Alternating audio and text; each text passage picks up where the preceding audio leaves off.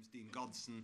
I'm Director of Policy Exchange, and uh, as many of you will know, Policy Exchange has played a very important part in debate on extremism and counterterrorism during the 15 years of its existence. You also know from what's on your seat, we're very proud that uh, this uh, document uh, produced in the last uh, fortnight has had a very considerable attention and uh, impact on the debate on online extremism, and it won't be the last uh, heard of this, or indeed uh, many of our other forthcoming interventions in this area.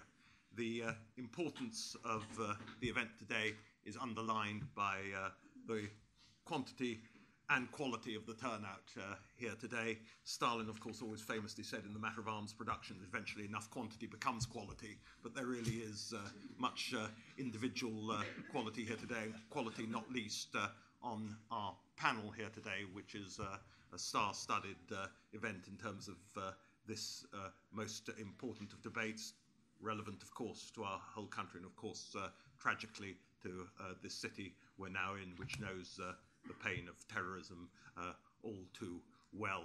I'd like, uh, particularly at the beginning, uh, because these things are always uh, partnerships, and uh, partnerships for this event only made uh, possible through our sponsors at Pool Re. Warm welcome to Julian, Chief Executive there, who of course will be one of the panelists, and I'll just go through.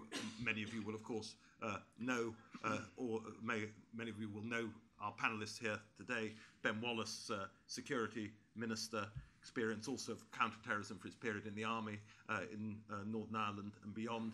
Mak Chishty, one of the senior uh, officers of the Metropolitan Police, recently retired with huge uh, experience in these areas. Um, Lord Carlile of Berriew QC, first uh, independent uh, reviewer of terrorism legislation and still a most important voice in these matters. And Sara Khan, who's been a critical uh, figure in the debates on counter extremism over many years.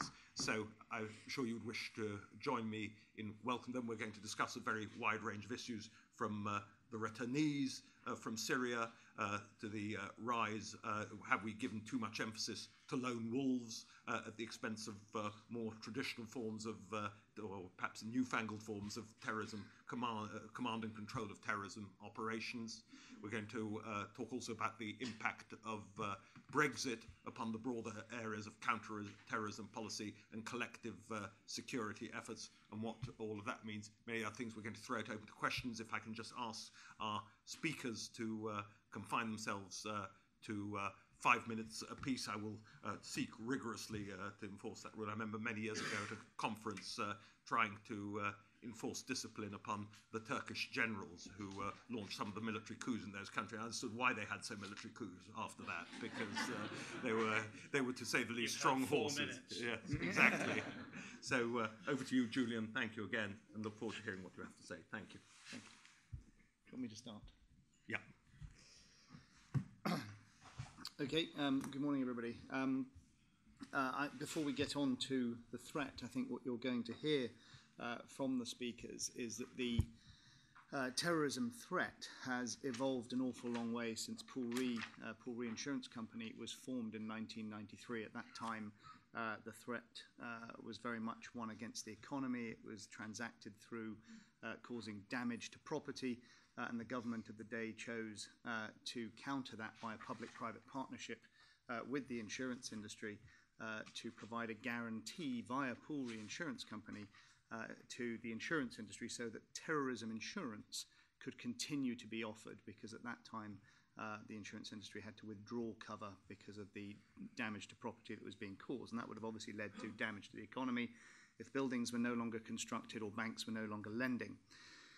In um, the 24 or so years that Pool Re's now been in existence, uh, the threat, of course, has changed markedly. Um, and really, what I just wanted to highlight was two or three things uh, as to how that has occurred.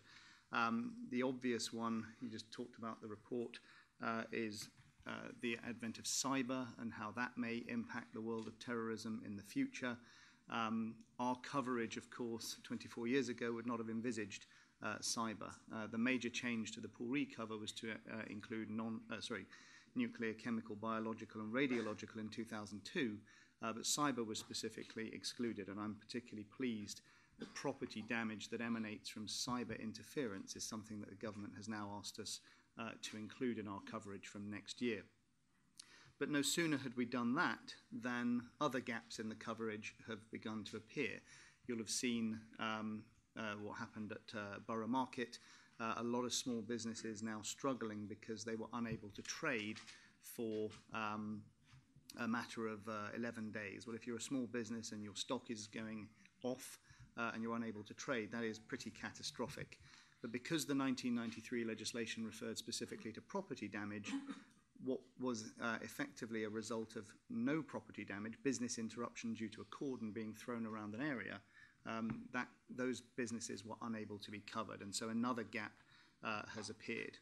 But I'm just going to highlight two or three other gaps. One is awareness, uh, awareness of the insurance market to understand terrorism so that it can return to a normalized insurance market.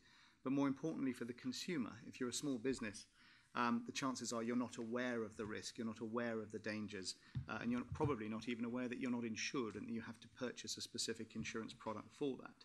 There's thus a penetration gap, which means that if you're outside of London or if you're a small business, our estimation is that probably less than 2% of that community actually purchase terrorism insurance, and that gives rise to potentially a moral hazard where the government is called upon uh, to pay for losses that could otherwise have been transferred to the insurance industry.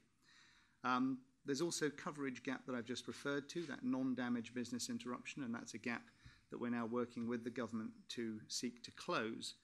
But there's also the issue of price and interdependence. If you are a small business, you may not perceive that you have a threat, but if you happen to be located next to a crowded place, a train station, uh, Manchester Arena is a very good example. You may have seen various small businesses saying that they've seen a noticeable drop off in business then you have an interdependence risk and we need to price the risk accordingly. And lastly, risk management and making sure that we can change consumer behavior by giving price discounts uh, for people that implement government accredited security measures.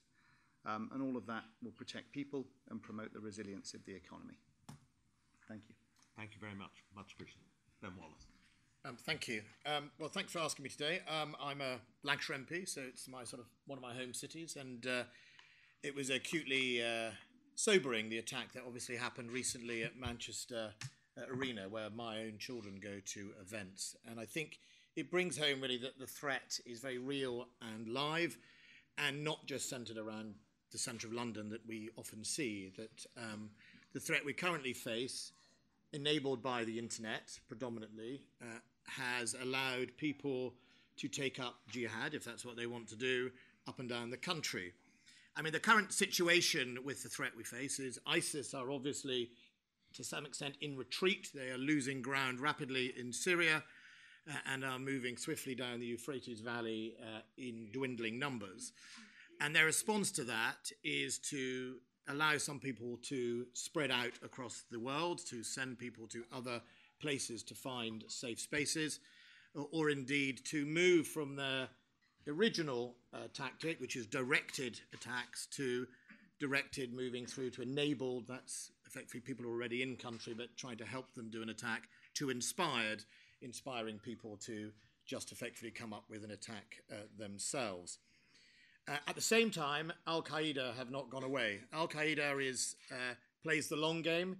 They are busy consolidating, uh, and uh, they have definitely not left the stage in any way at all uh, and are effectively coming up on the rails. So those are our two main threats at the moment, but alongside that is a growing threat from the extreme right, the uh, neo-Nazi right, who are using the same methods and capabilities that they learn on the internet as ISIS do, and in fact sometimes we find far-right uh, individuals planning violent uh, attacks have used ISIL manuals or Al-Qaeda magazines to educate themselves, so they're not theologically fussy when it decides how to obviously attack us.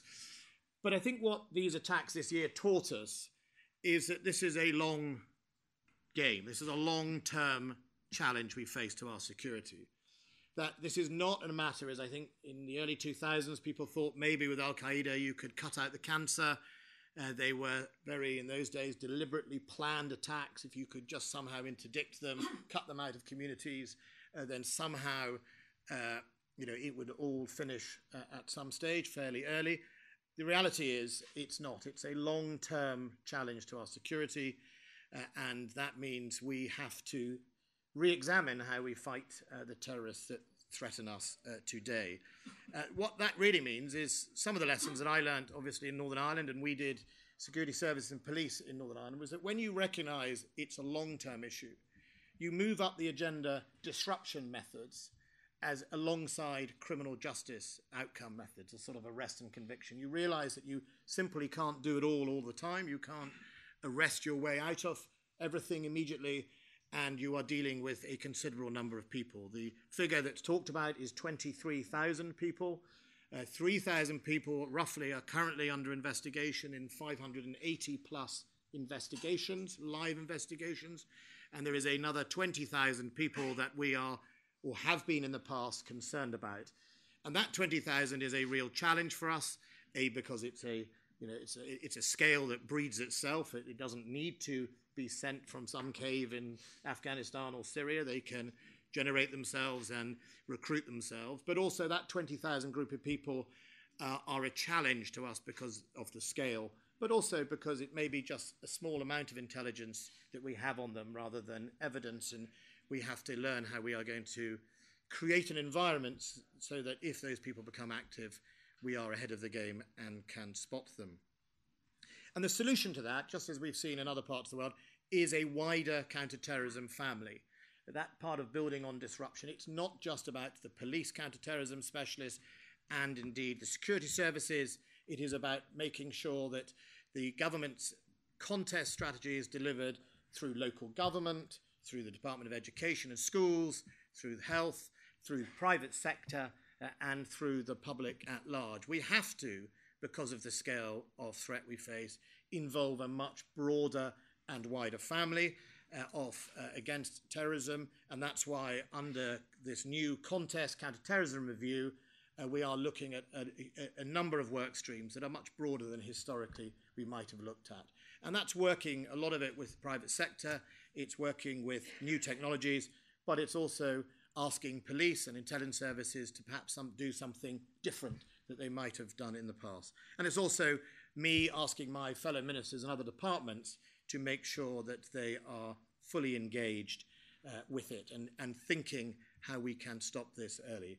The four P's off the contest, uh, uh, I hope, will remain the same, which is pursue, uh, protect, prepare, and prevent. Pursue is obviously, you know, police, uh, security services, and some other agencies up front, and you know, going in through the front door, arresting the bad guys, uh, and getting them convicted. Uh, and then prevent is the area, obviously, where we've got to stop the supply of people in that space, whether that's the far right or whether that's Islamist extremism. We have to stop those people being seduced into violent extremism or groomed, as a lot of them are, uh, and that is a very important plank of our policy. Brilliant. Thank you very much. Mak Chishty. Right. Good morning, everybody. Um, I'll try and stick to, to, the questions because I've got a lot to say on this uh, this topic, and I've only got five minutes. And it's tempting to go beyond that because of the uh, captive audience that we've got. So, um, firstly, I, am not an apologist. Uh, neither have I gone native. Uh, as a former police officer, everything about me is about the victim, it's about justice, and it's about doing the right thing. So I just want to make that clear because often when I appear on stages like this, I often get accused of those sort of things, but deliberately to try and undermine either what I'm saying or people like me are trying to say. And that's some of the pushback that we have to give back to try and expose extremism in, in all its guises. And, and the basis upon which I now talk is taking the Prime Minister's words that enough is enough. It's not partly, it's either is or it isn't. And we have to take that literally. So, what is the, the threat of uh, um, uh, people coming back from war-torn areas? A lot, of, a lot of focus is on their capability, hardened, uh, battle-hardened people who are able to then uh, attack within country. I think there is an element of that. Yes, the services can track that as we do with lots of dangerous people up and down the country, and there's a capacity issue. But I think there's a bigger danger. I think these people nesting back into communities, especially within a context that seems to be evolving, which is often a victim mindset, one which is um, disaggregated from the establishment, almost hostile towards the institutions, where there's a sense of grievance that's sown in. All of those ingredients play into somebody coming back and, and the appeal of somebody having gone away, almost like a folklore hero, somebody who's put themselves out in the name of their distorted religion, coming back having done something good. And you can see how attractive that may be to somebody who's disenchanted, disenchanted or disengaged from that mainstream element. And this is why I've always said that with the exceptional work our specialists do, I actually believe that the war on extremism will be lost or won within neighbourhoods because I think that's where it's got to. Local people coming together, building consensus, but also having the courage to speak out and call out against those that undermine our values. Um, I also think that um, with uh, homegrown terrorists, terrorists, is that a threat that we're over embellishing? I don't think it is. I've always dealt with threat uh, when I was a, a police officer, thinking that you need three ingredients for any threat to become a risk, and that you need opportunity, you need capability, you need motive. Well, the opportunities all around us. We've seen arenas. How much more security can we put around those? I was asked a few weeks ago, can we ever make the railway network absolutely secure? No, you can't, because if you did that, you'll make it unusable. So the opportunity is there. The capability is so low, you can use anything off the internet or even grab a knife or a, or a vehicle. You, we've seen that. So we have to take away the motive. We have to take away how people feel and believe and make sure, in that sense, we go upstream. So it's building upon the prevent agenda, but I think we need to markedly increase that, open that up, involve different sections, especially communities, create advocates at the heart of communities and understand what's going on. We need to profile what drives extremism from it, from who's amenable, what propensity there is, and who is vulnerable. And you can't categorize that in terms of somebody as you do with crime. It's much broader than that, but it is possible. Do the police and service, uh, security services have enough resources and powers? Well, the police, as you know, have been through a reform uh, decade. Much of that has been needed, but we also have to recognise the world has changed. Moving on from traditional crimes, the police are also now dealing with cyber, online grooming, radicalisation, um, and there's a great emphasis, I'm pleased to say, on vulnerability, which requires more partnerships. So the police are in an area where they've increased their specialisms, but they're also doing in a way that they need to work in partnership. That takes their capacity. Doing that alongside traditional crime, your burglary, your robbery, your street crime, that hasn't gone away. Antisocial behaviour and graffiti in neighbourhoods hasn't gone away. The public do expect and do deserve a response to that. So when you've got these increasing demands across the whole dimension, I think we do need to have a look at where we are and what capacity there's needed because the world has changed. So I would be pleading for a, a pause on that and having a look at where we can build further capacity for the safety and protection of people. Are the laws enough? I think by and large the laws are enough. But moving forward and building upon what the minister said, I think we do need to have a look at big data and the role that's going, the role that's playing now and in the future through big data, not just the statistical trends, but actually getting into the content, knowing what's been perpetrated where in terms of cyber, the proximity of cyber and physical attack locations to where people are then moving around. And I think if you look at logistically what's happening on the online space and marry that up with technology, we're going to get a better picture of who's talking to who and where the threat's emanating from and where potential vulnerabilities are. That gives us a head start, and I think that's a better place than putting more barriers on more barriers on more barriers. I, for one, do not like to see barriers on any bridges in London, but I respect the fact that they're necessary at the moment. And once they've gone up, they become a permanent feature. And let's try and reverse that if we can. Um, we've seen how infrastructure has been attacked. Two, two minutes, I'm sorry. Uh, how infrastructure has been attacked. Uh, and I'll spend a minute on this, thank you, Dean. Uh, and, and I think we have to change our psychology. If I just do one quick example where we're absolutely well versed in fire drills, we've seen people outside office blocks waiting to get back in. I think we also need to plan uh, and be ready for an attack. If that happens, what does run, hide, tell actually mean? If you haven't seen the video, I would absolutely implore you to have a look at the video. It's frightening, but it's very educational. Lastly, on, on, on Brexit, I suppose, uh, and what's happening. Uh, I think we're all unclear what that actually means, but what we have to respect is it's a mass landscape across there. Uh, communities as we know them have changed. There's been migration and movement of people through refugees. So we need to understand what communities are where, respect their, their rights, also engage with them. We're slightly protected because of the water around us, but that does not mean that there can be people who are travelling from country to country, continent to continent. And to that end, I think informal relationships across the law enforcement sector do work and can work very, very well. Uh, Going forward, just one last thing on uh, government practical steps, uh, with the Commission being asked to comment on that. Whatever form the Commission takes, I think that the function needs to be understood first. I see it as an autonomous body similar to JTAC. This is the extremism. Yeah, yeah, uh, which is similar to JTAC uh, and is able to have the power to speak and to advise on an independent basis where people are respecting it for the independence and its, and its expertise. Thank you, Dean. Thank you, Matt. Thank you. Lord Carlisle. Um, thank you, Dean. Um, I want to start by setting out what I regard as five essentials for good counter-terrorism policy. First, it must be informed as to what terrorism is and why it arises. It must be coherent. It must be a policy, not a set of happenings. It must be strategic because strategic policy will carry even some of the doubters. It must be tactical because it has to be tactical to hit its targets.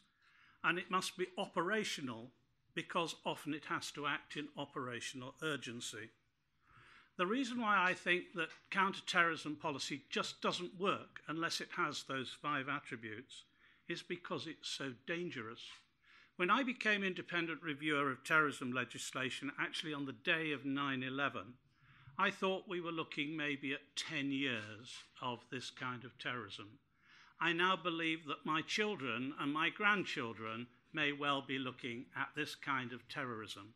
So it's a very serious long term issue. Why are third generation British Muslims becoming involved in violent Islamism? Well, I have an easy answer to that read Sara Khan's recent book because it explains it very clearly indeed, and it's a very, very good read, but it is happening. Um, why is it so dangerous? Because, well, when I got on the train in London this morning, I was quite hungry, so I had quite a bit of breakfast. But if I've got a bomb strapped to my back or I'm driving a van down London Bridge um, at the public, I'm not quite anything at all. There are no gradations, so it creates immense danger, and we have to be able to deal with that. How is it made so dangerous? Well, partly because of the internet. To my generation, the idea that one could be radicalized looking at a screen in one's bedroom at one time seemed crazy. Believe me, it's happening every hour of every day in every Western country in, uh, that we have and indeed that is borne out by the 2016 figures in the European Union of 164 deaths and 899 injuries, and this year to date, 74 deaths and 399 injuries, not including whatever has happened in the last 24 hours. And so I believe that we have to have the mechanisms to achieve the policy parameters I set out at the beginning. I want to say a word about Prevent. There have been all kinds of criticisms of Prevent. It's been suggested that we should change the name of Prevent. That's one of the silliest suggestions I've ever heard. Do you think if we changed the name of Prevent to Engage or something like that, exactly the same rhetoric would not be used against the new name? It's absolutely daft. And actually, Prevent is working extremely well. People say it makes mistakes, but every day of the week, the police, in good faith, arrest people who are innocent. It's part of policing and part of prevent includes occasionally making mistakes. But I believe that prevent, of course, it needs more money, Ben, a lot more money. and I know you're going to give it. Yeah, I know you're going to give it more money anyway. But actually, it works very well, particularly with young people. And the Channel Pro- Project, in my view, is an outstanding success.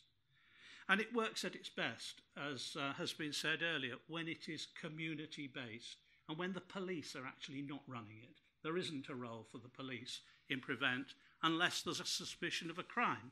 And then the police have to do what they're paid to do, which is nick people and get them prosecuted if the evidence is there against them. And I just finally, if I may, Dean, want to say a word about the Extremism Commission. I happened to cast a glance yesterday over the um, booklet that's been issued by the recruiters who are trying to recruit the so called lead commissioner. And I'm afraid the government, Ben, is going to have to sharpen up its act on this. It's far too fluffy. The lead commissioner will only be security vetted up to the lower level, which will mean that the extremism commissioner will not be able to see the same secret material as the independent reviewer of terrorism legislation. That seems to me to be completely daft. And in my view, it's an appointment that's being made at too middle a level. Also, I wish the government had decided before they advertised the post whether the lead commissioner was going to be the only commissioner or one of a number of commissioners. I'm all in favour of the lead commissioner being consulted, as is suggested in that booklet, but it doesn't look as though the government has been very decisive about it. I'm in favour of there being an extremism commission, but I think it should be more robust than is suggested in the booklet I've been talking about. And also, it should be absolutely clear that Prevent and the Extremism Commission are going, not going to fall over one another. Prevent is part of counter terrorism policy. The Extremism Commission is part of counter extremism policy, and the two are different, and they should be kept different. So, overall, I think we have actually been pretty successful um, in our counter-terrorism efforts over the last 17 or 18 years. But obviously, there's more to be done, and I welcome the review that uh, Ben was talking about earlier. Thank you, Alex. Sara. Uh, thank you for inviting me. It's a pleasure to be here. I want to briefly focus on the context we now find ourselves and also to question the effectiveness of our response and to talk about that thorny issue of non-violent extremism. Firstly, the, the context. 12 years on from the London bombings, I think it's fair to say that we are losing the battle against extremism. We've had five terrorist attacks in this year alone, six attacks foiled since the Westminster attack, hundreds of convictions for Islamist related offences, hundreds of those who have left our shores to join ISIS, Al Qaeda, or Al Shabaab. Um, we've seen thousands of subjects of interest, as, as Ben Wallace mentioned, the rise of extreme right wing groups, and so on. And so I believe that the scale of the problem, especially in relation to Islamist inspired extremism, has been underestimated. And in that time, what has been the government's response? Well, we've had numerous well intentioned and tough speeches, including David Cameron's 2011 Munich speech, his Birmingham speech in July 2015, more recently, Theresa May's Enough, uh, enough is Enough speech after London Bridge attacks. We've also seen the setting up of the Extremism Task Force, established after the murder of Lee Rigby. We've had iterations of the Prevent strategy and contest, and we're now waiting for contest three. We've had the announcement of a counter extremism strategy and bill. We've had the Casey review and so on. Now, I do not doubt the government's will and good intentions to address this issue. I'm just not convinced that A, our analysis of the problem, and in particular the scale of the problem, is recognised, and that B, we have developed an effective pushback against extremists, whether offline, online, for both violent and non violent extremists, preachers, organisations, social media sites, and websites. This lack of a counter movement is the elephant in the room. And I speak as someone who lives, breathes, and sleeps this work, who has spent 10 years running a counter extremism organisation. And rather than a dwindling Salafi Islamist movement in response to the government's CT and CE efforts, today I see a more confident, brazen, and emboldened Salafi Islamist lobby whose reach, influence and toxic worldview has, I believe, increased over the years, not decreased. It's why, for example, we are seeing a resurgence of Hizb ut-Tahrir in some cities. Now, unfortunately, while the security services and the police seek to prevent further attacks, including lone actor attacks, it appears the appeal of ISIS has not declined. Furthermore, non violent Islamist groups have become more mainstream in Muslim communities and even within wider society, where charities, interfaith groups, student bodies, anti racist groups, and others legitimize and even partner with these groups. While many focus on the jihadists, I have always believed that if we are serious about seeking to disrupt and undermine the Islamist threat, we need to address those who promote non violent extremism in our country, who I believe provide the mood music and who normalize the wider Islamist worldview to impressionable youngsters. And what are the, some of the common themes of the British Islamist worldview? Obviously, don't have time to talk about all of them now, but take the example of Kamran Hussein, who delivered lectures from his mosques preaching support for ISIS, including to children. He was convicted last week. Now, he claimed the government had created and were funding the EDL to attack Muslims and, unsurprisingly, criticised Prevent. Yet this ideological narrative is shared by so many so called non violent British Islamists. A few years ago, I remember Islamists leading a campaign against the CTS Act and the Prevent Duty in particular. And just as one example, Ibtihal Bsis, a female barrister, a cage advocate and former media representative of HT, went around nine cities scaremongering Muslim communities, claiming that, yes, you guessed it, the EDL has been deliberately created by the government to intimidate Muslims Islam is being criminalized in the UK and that the authorities were lying about ISIS. This crossover in ideas is not coincidental. There is a shared narrative. And we do not analyse closely enough the propaganda of British Islamists because if we did, we'd be aware of how similar the foundations of this ideology is. And it's precisely why my organisation has endeavoured to draw attention to the arguments of non violent Islamist preachers and groups operating in the UK. A recent report by the Tony Blair Institute for Global Change highlighted how 77% of British jihadists were associated with non violent Islamist groups and networks before turning to Salafi jihadism. And other reports have highlighted that many of those convicted for terrorism offences did not solely read Al Qaeda or ISIS propaganda, but also non violent extremist propaganda too. And here lies a challenge that remains unchallenged. One of the reasons why I wrote my book was actually to highlight the cooperation coordination between competing fundamentalist groups who have now created a strong influence and lobby in this country, reaching hundreds of thousands of people through social media, on campuses, and at community events. They then claim to represent the Muslim community, and Muslims like myself or Mak are considered to be sellouts. And from day one, this lobby sought to shift Islamist ideology from the fringe to the mainstream, and I think they've done pretty well partly because of the lack of resistance. I just wanted to talk about one very quick issue. Um, there is so much in terms of that the Muslim communities themselves can do, but I also want to point a finger to wider society. And one of the most barefaced examples is that of Imam Shakil Begg, the chief imam at Lewisham Islamic Centre. Almost a year ago, Justice Haddon Cave decried Begg to be an extremist Islamic speaker who espouses extremist Islamic positions and who has encouraged violent jihad. Did that, did that deter Citizens UK from inviting Begg to speak at their events? Did it stop year four children from a local school visiting Lewisham Islamic Centre? Did it stop a local synagogue from inviting him to speak at an interfaith event despite his violent anti Semitic views?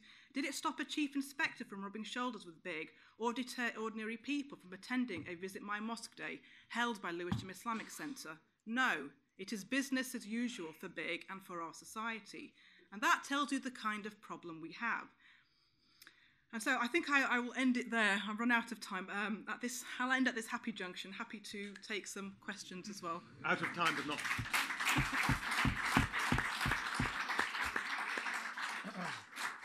out of time, but not out of steam. There are going to be a tremendous number of uh, questions to be asked. I'm going to take them uh, in threes, and I'm going to insist they are questions rather than floor speeches. Um, so if I can uh, just take, just trying to get a sense of the room and how many people want to ask questions. Lady there, gentleman at the side, and gentleman there. If, if you, who's got the microphone? Um, I'm surprised that you name an organisation. That's the no question too outrageous. You just have to state who you are. So my uh, name's Layla Dupuy. I have a startup called Kitchen Table, um, but I'm surprised you haven't. I'm a British Muslim, born and bred. I'm surprised you haven't addressed the issue of Trojan schools. It seems like we tiptoe around it. Trojan schools. How are we allowing them to operate and to still be around? Why you mean we as in Trojan horse in Birmingham? That sort of syndrome. But that's not the only one. There's a few. And I've asked this question before, and it seems that we live on a fear of angering or you know creating um, hostility between us and the Muslims, and I think that's wrong. I think we need to shut these schools down. Why have we not? Thank you. Name an organisation, please. James Bethell from Westbourne Co- Communications, but also a campaigner against uh, white extremism. I wondered if um, any on the panel would just like to elaborate a little bit about how they see uh, far right extremism, white supremacist uh, extremism playing out in the UK. I mean, we, we are very fortunate. The BNP, uh, I'm glad to say, have been led by idiots and they have faded away. The EDL is, is a rabble, and in many ways, um, we're, we're blessed by poor leadership on, on the uh, extreme right. What's your However- question? What's your however, question? My question is around the world, extreme right wing groups are seeming to do very well. And do, do the panel see uh, this becoming a bigger problem or fading away in the UK? A gentleman there, yes. Hi, my name is Thomas Bridge. I'm a borough councillor in Essex, but as you can probably tell from my accent, I have strong Irish connections. And my question really to the panel is: you both you've mentioned at the start of the uh, you go back 25 years. Obviously, the implicit or the explicit in some cases was Irish terrorism or issues around Northern Ireland. You seem to be saying at this point that that issue has gone away. Do you think there's a risk of it coming back, particularly in the light of potential issues around the border? Very good. Okay, if I can ask, not every panelist has to answer, but Lord Carlile's whispered in my ear, so if I can give him a chance. I just wanted to deal with the last question because I've spent a lot of time looking at what's happening in Northern Ireland. Yes, it could come back. If we have a Brexit negotiation that creates a hard border between Northern Ireland and the Republic of Ireland, I think we are potentially asking for a great deal of trouble. But having said that, the policing now and the intelligence are of very high quality. The number of residual terrorists is quite small. We actually know who they are, and though things do occasionally go wrong and there's a lot of organised crime connected with it, I think we have that under control, provided we aren't Brexited out of the Good Friday Agreement. Ben. Um, well, just on the, I'll go through the three. Um, on the Irish terrorism, no, they haven't gone away. Alex Carlile is absolutely right. We've got a good lid on them, I think, is the word phrase. But you know, the the the, the recruiting tactics, they are recruiting. They do aspire, uh, and they are still the ones still active are definitely potent and dangerous individuals who have successfully killed prison officers and police officers in the last few years. So um, they are definitely there, um, and um, yeah, they're not going to go away. They're they're there for the long term. But at the moment, I think, as Alex says, the quality of the policing, the quality of the intelligence, gives us in a space where at the moment we are in a place. I'm not. I wouldn't entirely agree with the Brexit uh, issue. Um, what we noticed when I was the Northern Ireland minister was that they seem bizarrely the dissidents disengaged with polit- politics. So when Stormont was not happening, or you know, as we have now in impasse, it didn't seem to respond in their groups. They didn't sort of become more or less active uh, to do that. But um, you know, I, I think no one's taking the eye off the ball. We put in a lot of investment in there, and we'll continue to do so.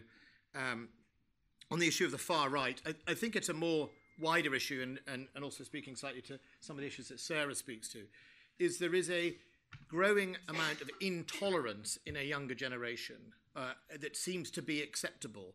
You know, I go to colleges and schools where young people, 17, 18, do talk to me in a very intolerant manner about conservative beliefs or other people's beliefs, and whether and, and that acceptance of it's okay to call people scum on the outside of a, a conference, or it's okay to indulge in, in that type of political activism, uh, is just part of this theme of a growing bedrock of intolerance that you see played out in universities and in some sixth forms. And it worries me because once you accept intolerance, the recruiters for the far right or uh, Islamists or the Salafist movements sort of you know have a growing group of people who think it's okay to uh, not uh, you know be intolerant of other people's views. And I think that is that is a, a cultural thing. Uh, where people are self-selecting intolerance online, they're going to sit in their own little space and agree with each other, uh, and that's something that we need schools to take a lead in, which segments me into the first question, which is absolutely uh, it, the Birmingham schools were uh, in in the end, uh, you know, dealt with. The challenge we face, as in other parts of the world, is the madrasas and the unregulated school space and the homeschooling school space, where we are seeing a growing number of people uh, peddling intolerance in a whole load of areas. And all of that, I'm afraid, in this century, is underpinned by a very powerful uh, uh, platform called the internet that is allowing people to see incredibly, uh, you know, provocative uh, conspiracies and allegations, and also training manuals and recruitment. So uh, we have to work in the education space. One of the reasons I talked about the wider counterterrorism family is making sure that the Department of Education is fully engaged in the prevent program and indeed in the actual spotting uh, issues uh, as they come upstream. Sara, did you have anything to say in response to any of those questions? I think with regards to the Trojan horse schools issue, I mean, Ofsted are doing excellent work hmm. inspecting schools. I, I think we should you know, give more, them more power to do what they do best, which is to go into these schools um, and, and to decide whether those schools are fit for purpose um, and to support them if, if they're not. So we, I think we should recognise the work of Ofsted, but also be aware that indeed there are examples of and I, I come across quite a few of them, um, worrying examples of stories similar to the Trojan horse cases as well. Um, far right extremism, yes, huge concern. We do a lot of work within school, delivering training to teachers, um, and teachers really are starting to recognise the problem. More so now, I think, because of the prevent duty. The prevent duties force them now to say, we actually do recognise we have pupils in our schools who are spouting anti Semitism or anti Muslim hatred. Um, and, and what you're seeing now also is that the, the kind of original far right movement has split and it's become more violent, more virulent, and they are similar to the Islamists, are targeting young people. They are seeking to radicalize young people online and also taking them to events and, and uh, activities in the communities as well. And there's a lot of that that's taking place as well. So it's understanding better what is actually happening on the ground.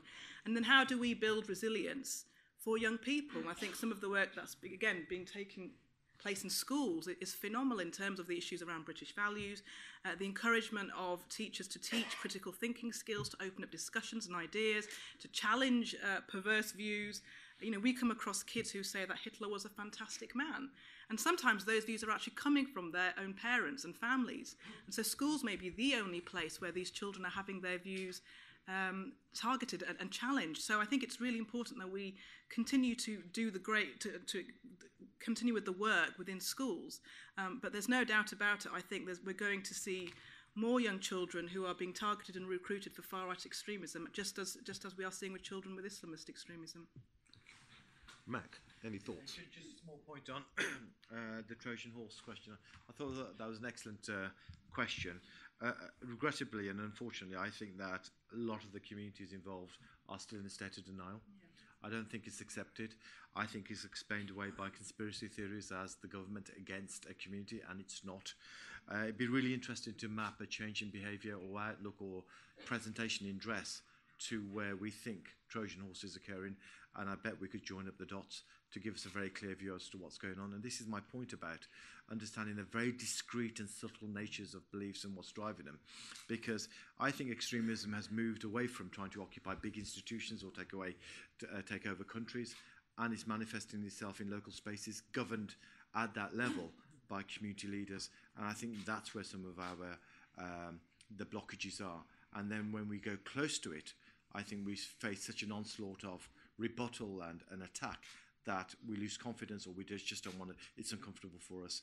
And going forward, if enough is enough, that's where we need to go.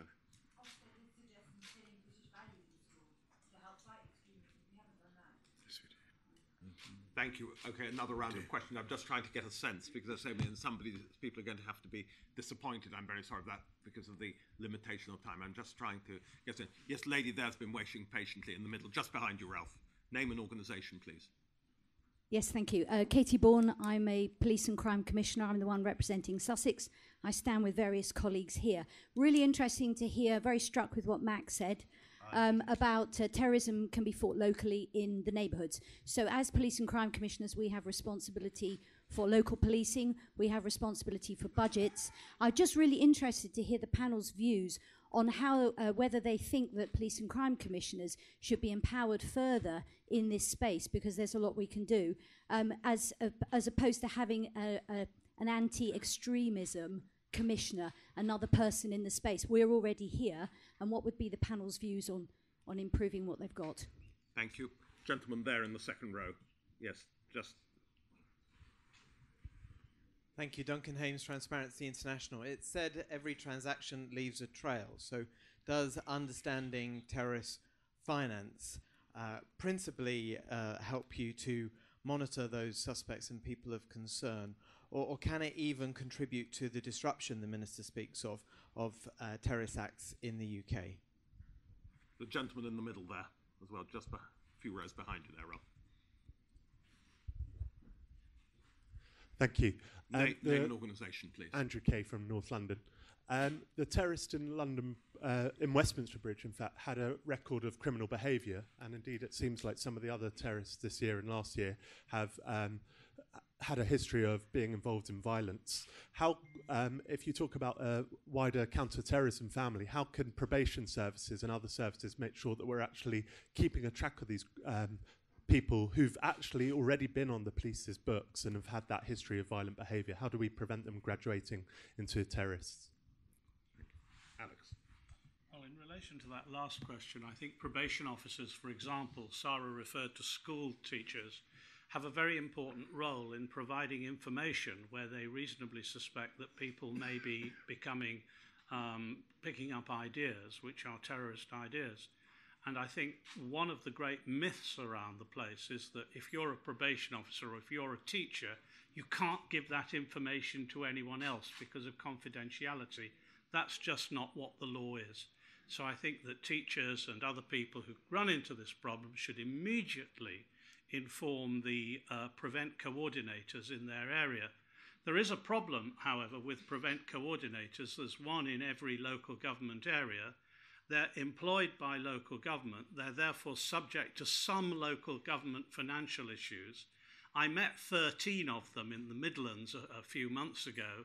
Most of them were doing something very, very valuable, but one of them, from a large conurbation, had to admit that he was really only coordinating himself. And that's profoundly unsatisfactory. And I think the way in which prevent coordinators work could be improved by making them more independent a bit like factory inspectors? I think I'll just deal with that question and leave the others for other people. Very good. Ben. Um, okay. Um, probation service, the CT review is all about that.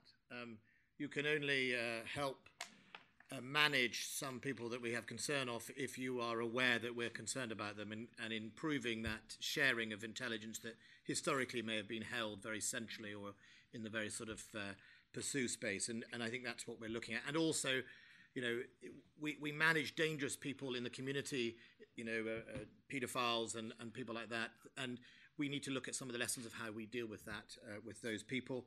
Um, terrorist finance, I think there's two parts to that. One is what we know at the moment with the, the guys doing sort of, uh, you know, grabbing a van and a, and a knives, small sums of money.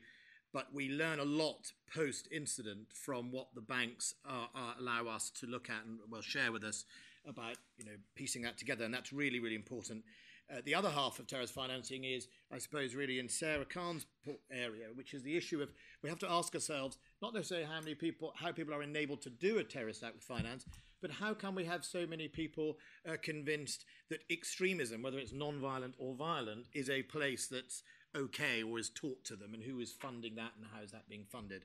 Uh, and I want to uh, do more in the government space to cramp down that on that on prevent, local leadership is absolutely important. I'm, you know, I'm a Lancashire MP where some of my neighbours were not put off. So Jack Straw is a neighbour and represents a, a multi-ethnic community with all sorts of tensions when he was the MP in Blackburn.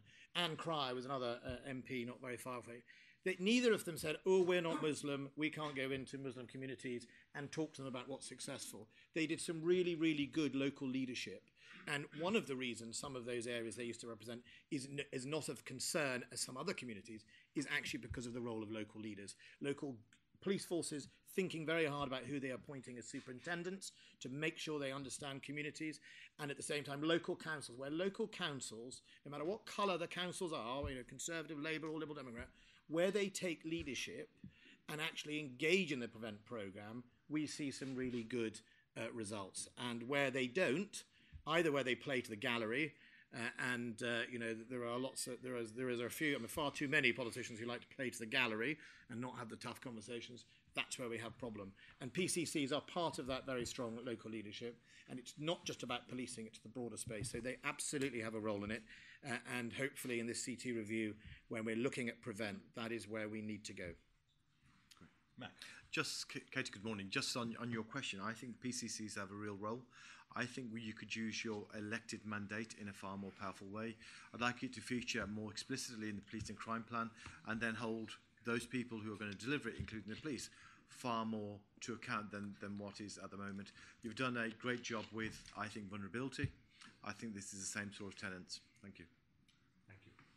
Yeah, I'll answer your question as well. I, I definitely think you're right. I think they can be empowered a lot more. I think three key areas I think that they could do more on is understanding or mapping out local groups, extreme groups that they should be concerned about, events that are happening, who are they reaching out to? Because I, I, through the work that I do, I see that all the time, but I, I wonder if local authorities understand who the key players are in their cities, and I don't think they do, because then they'd understand what events are happening, who's going to those events, how many people are going to, how many people are being influenced, and so forth. So I think that mapping out exercise is really important on a local level.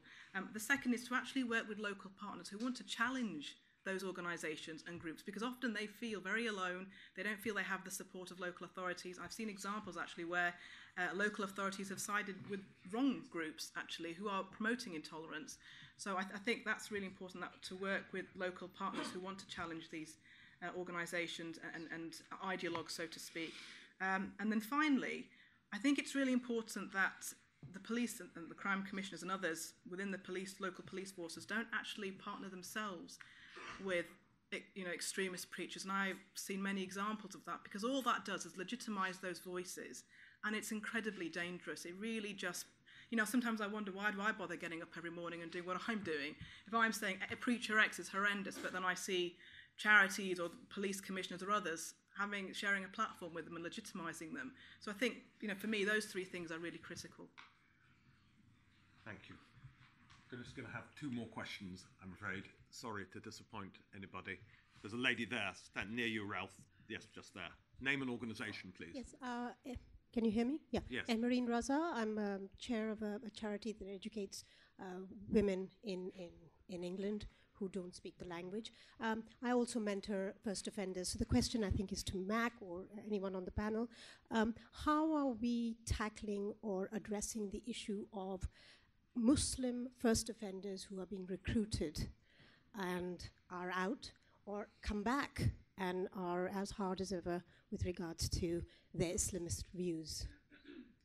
Gentleman there, last question. Yes, you've been waiting patiently. Yeah, thank you. Name and organisation, please. Martin Parsons. I've written on counter extremism on Conservative Home since 2008. Um, question specifically to Ben can we tighten up the definition of extremism, please? Um, we're doing vastly better than the last Labour government. We've linked it to historic British values, but we're still only talking about things like democracy and one law for all. All Islamists actually believe in one law for all. It just happens to be Sharia. um, half of them believe in democracy. Can we include things like freedom of speech, freedom of religion, freedom of the press that um, have evolved in this country over the centuries, then we might have a counter narrative. Thank you. Thank you. I'm sorry to disappoint anyone. Ben. Uh, just very briefly, I mean, one of the British values that are taught by the Prevent Schools uh, uh, individuals is equality. And, you know, if, if you want to know what I think is at the heart of the extremism, is that when people decide, and you see it a lot in the Salafist narrative, and you see it in the neo Nazi, in this concept of purity, that if you are pure, it, it, they imply that everyone else is a lesser person. That is the pathway that leads ultimately to these people justifying themselves that violence is okay because you're actually not really doing it against your equal, you're doing it against someone who is lesser or whatever. And you see that played out in the narrative time and time again. And if you, you know, I have to read, part of my job is, you know, I read the Inspire magazine. It's an interesting name, published by uh, Al Qaeda or Rumiyah is the ISIS online magazine, and it is full of actually theology. In between the just terror tactics section, uh, or how to kill lots of people, is this bizarre theological sort of vomit that comes out every year, uh, every month, which is about that sort of how to justify that you are somehow purer and therefore someone is less equal and therefore dehumanized. And it, that is, to me, the pathway. It needs to be challenged in the narrative in Islam. It absolutely has to be. Also has to be challenged in the narrative in neo Nazis, which is why you see the latest neo Nazi groups much more getting involved in anti Semitism, you know, the sort of purer, the purer uh, society of Britain and all that garbage that they come out with. So, those two areas, equality is a central tenant, and we have to keep teaching it because otherwise the Puritans, effectively, and I'm a Lancashire MP, I know all about Puritans from the 17th century, they get the grips, and that's the pathway. Mak, final word. Yeah, ju- just on um, bespoke services for Muslim uh, young offenders. Apart from uh, the role of prison imams, which, which I think there's a big question mark over in any case because of their uh, their own school of thought may not be the right school of thought that I think is, is healthy, and the prevent program or co- or contest, sorry, or channel. I'm not so sure there's any other bespoke services that, that reach out at the moment.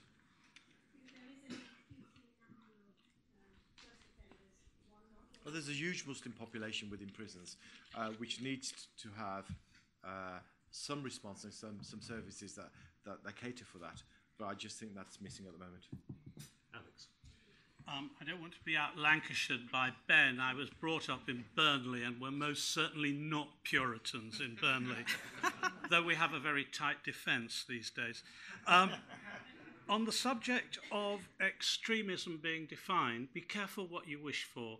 As a dry lawyer's answer, I would say to you that the nature, the way in which we've made Acts of Parliament since 1215, and I don't mean 12:15 p.m., um, has meant that they are very narrowly defined, and many things that might be extremism now might not be if we tried to define it too tightly. On returners, I certainly am of the view that we need to give more resources to the way in which we scrutinise returners.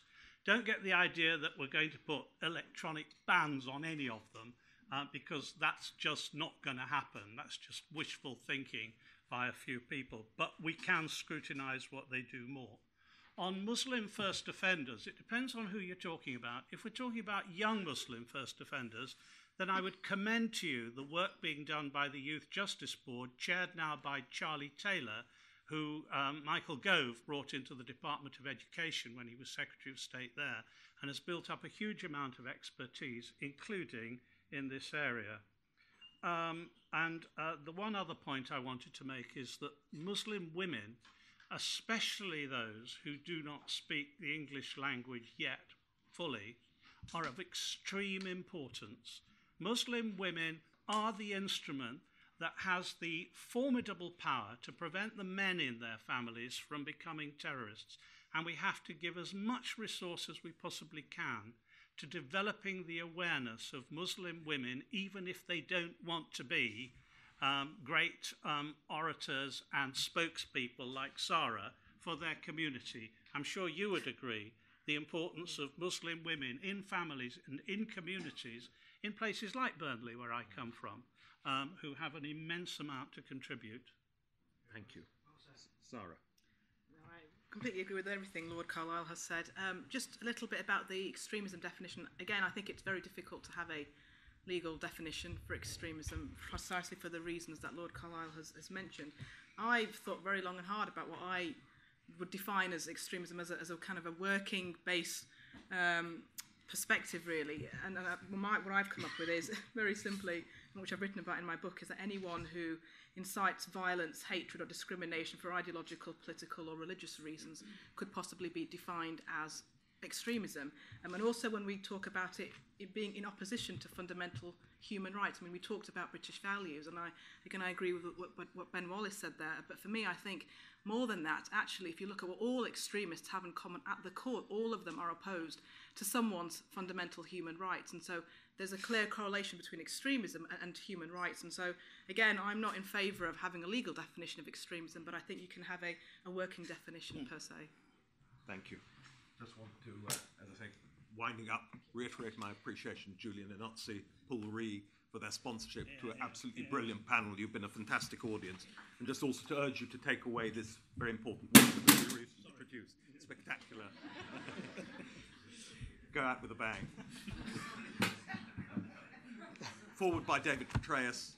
It's a, it's a brilliant piece of work. It's been uh, taken up now, being consider- recommendations considered by the Home Office, and uh, as I say, it's uh, not going to be our last intervention in this space in the coming months. So please join me in thanking our panelists and. Uh,